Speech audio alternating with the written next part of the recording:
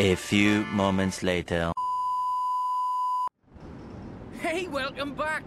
The way people have been viewing your videos, Fortune Island will be us before long.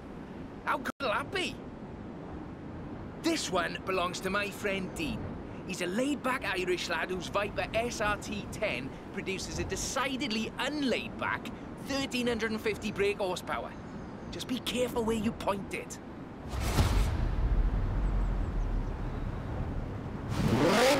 I've been scouting the island personally. This is the best drift route yet.